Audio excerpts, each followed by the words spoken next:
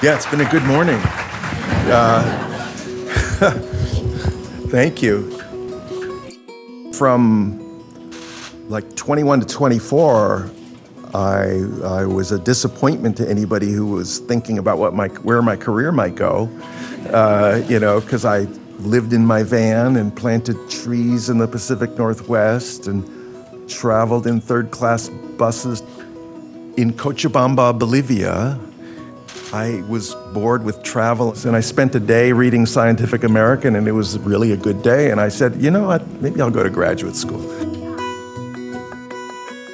So I came to Harvard for graduate school, and that was 76. That was sort of the moment when recombinant DNA was really just starting to take off.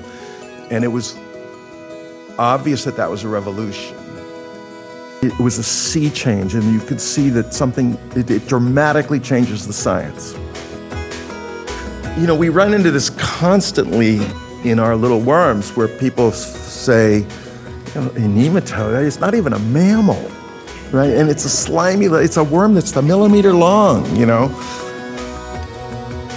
But if you look at the animals that have the super potent small RNA system that worms have, it's scorpions and ticks and coral and clams. And it's the most badass organisms on the planet, right?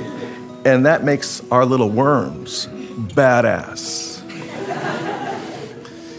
and no one ever thought to use that term for a worm. And so, you know, we are asserting ourselves now.